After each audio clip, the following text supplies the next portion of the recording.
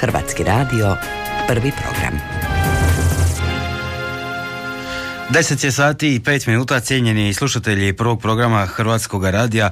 Zbog vremenskih uvjeta, točnije rečeno nepogoda, nismo u mogućnosti realizirati najavljeni prijenos bogoslužja iz adventističke crkvene zajednice u Maruševcu, kraj Varaždina. Ispričavamo se zbog toga, a u nastavku emitiranja prvog programa Hrvatskog radija poslušajte našu redovitu emisiju subotom u ovo vrijeme u sobi s pogledom.